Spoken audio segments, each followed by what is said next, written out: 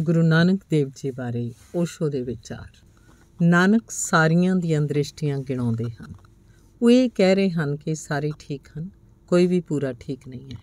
ਜਦ ਕੋਈ ਅਧੂਰੇ ਨੂੰ ਪੂਰਾ ਹੋਣ ਦਾ ਦਾਵਾ ਕਰਦਾ ਹੈ, ਤਦ ਭੁਲੇਖਾ ਹੋ ਜਾਂਦਾ ਹੈ।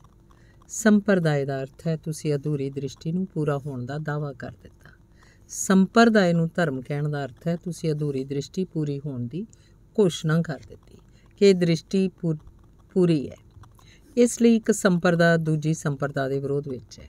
ਸਾਰੇ ਸੰਪਰਦਾ ਧਰਮ ਦੀਆਂ ਦ੍ਰਿਸ਼ਟੀਆਂ ਹਨ। ਹੋਰ ਕੋਈ ਸੰਪਰਦਾਇ ਧਰਮ ਨਹੀਂ ਹੈ। ਜੇ ਅਸੀਂ ਸਾਰੇ ਮੁਮਕਿਨ ਸੰਪਰਦਾ ਨੂੰ ਮਿਲਾ ਦਈਏ, ਤਾਂ ਧਰਮ ਪੈਦਾ ਹੋਏਗਾ।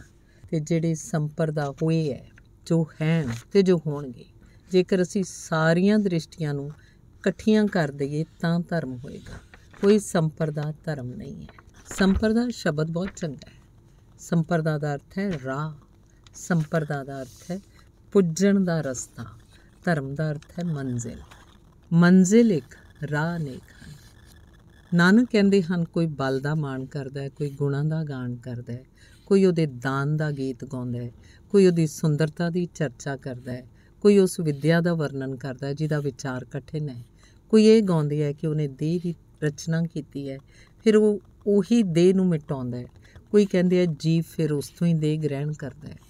ਕੋਈ ਕਹਿੰਦੇ ਉਹ ਬਹੁਤ ਦੂਰ ਵਿਖਾਈ ਦਿੰਦਾ ਹੈ, ਕੋਈ ਕਹਿੰਦੇ ਬਹੁਤ ਨੇੜੇ ਹੈ, ਕੋਈ ਗਾਉਂਦੇ ਹੈ, ਉਹ ਸਾਨੂੰ ਦੇਖਦਾ ਹੈ ਤੇ ਸਰਵ ਵਿਆਪੀ ਹੈ, ਉਹਦੇ ਗੁਣਗਾਨ ਦਾ ਅੰਤ ਨਹੀਂ। ਕਥਨਾ ਕਰੀ ਨਾ ਆਵੇ ਤੋ। ਕਹਿੰਦੇ ਕਹਿੰਦੇ ਥੱਕ ਜਾਂਦੇ ਆ ਉਹਦੇ ਗੁਣਗਾਨ ਦਾ ਕੋਈ ਅੰਤ ਨਹੀਂ ਆਉਂਦਾ।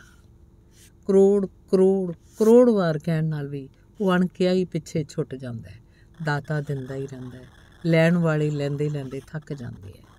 ਇਹ ਬਹੁਤ ਮਹੱਤਵਪੂਰਨ ਵਚਨ ਹੈ। ਜੀਵਨ ਉਹੀ ਦਿੰਦਾ ਹੈ, ਸਵਾਸ ਉਹੀ ਦਿੰਦਾ ਹੈ, ਧੜਕਣ ਚ ਉਹੀ ਧੜਕਦਾ ਹੈ, ਉਹ ਦਿੰਦਾ ਹੀ ਰਹਿੰਦਾ ਹੈ। ਉਹਦੇ ਦੇਣ ਚ ਕੋਈ ਅੰਤ ਨਹੀਂ ਹੈ।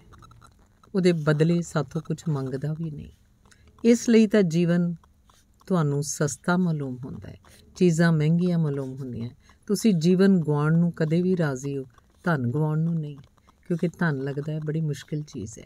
ਜੀਵਨ ਤਾਂ ਮੁਫਤ 'ਚ ਮਿਲਦਾ ਹੈ। ਉਹ ਤੁਹਾਨੂੰ ਜੋ ਵੀ ਦਿੱਤਾ ਹੈ, ਮੁਫਤ ਹੈ। ਉਹਦੇ ਬਦਲੇ 'ਚ ਤੁਸੀਂ ਕੁਝ ਵੀ ਨਹੀਂ ਦਿੱਤਾ।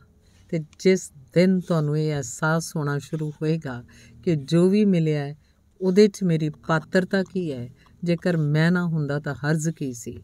ਤੁਹਾਡੇ ਅੰਦਰ ਜਿਹੜੀ ਜੀਵਨ ਦੀ ਸੰਭਾਵਨਾ ਬਣੀ ਹੈ, ਤੁਹਾਡੇ ਅੰਦਰ ਜਿਹੜੀ ਚੇਤਨਾ ਦਾ ਫੁੱਲ ਖਿੜਿਆ ਜੇ ਨਾ ਖਿੜਦਾ ਤਾਂ ਤੁਸੀਂ ਕਿਹਦੇ ਕੋਲ ਸ਼ਿਕਾਇਤ ਕਰਦੇ?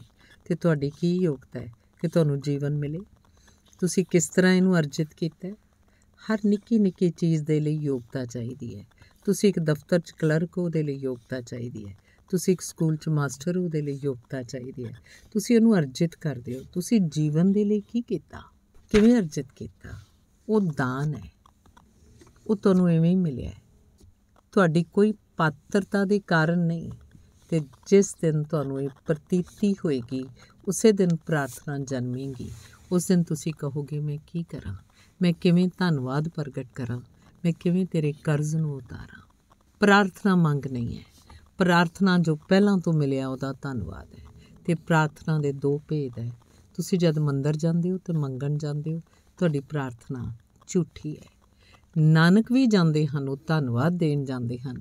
ਉਹ ਕਹਿਣ ਜਾਂਦੇ ਆ, ਜੋ ਤੂੰ ਦਿੱਤਾ ਭਰੋਸੇ ਤੋਂ ਬਾਹਰ ਹੈ। ਕੋਈ ਕਾਰਨ ਨਹੀਂ ਹੈ ਮੇਰੇ ਅੰਦਰ ਕਿ ਮੈਨੂੰ ਮਿਲੇ। ਕੋਈ ਮੇਰੀ ਯੋਗਤਾ ਨਹੀਂ। ਨਾ ਮਿਲੇ, ਸ਼ਿਕਾਇਤ ਕਰਨ ਦਾ ਕੋਈ ਉਪਾਅ ਨਹੀਂ। ਤੇ ਤੂੰ ਦਿੰਦਾ ਹੀ ਚਲਾ ਜਾਂਦਾ ਹੈ। ਪਰਮਾਤਮਾ ਅਨੰਤ ਦਾਨੀ ਹੈ, ਕੁਦਰਤ ਦਿੰਦੀ ਚਲੀ ਜਾਂਦੀ ਹੈ। ਤੇ ਅਸੀਂ ਸਾਥੋਂ ਬਹੁਤੇ ਅਕਿਰਤ ਘਣ ਲੋਕ ਲੱਭਣੇ ਔਖੇ ਹੈ। ਅਸੀਂ ਧੰਨਵਾਦ ਵੀ ਨਹੀਂ ਦੇ ਸਕਦੇ।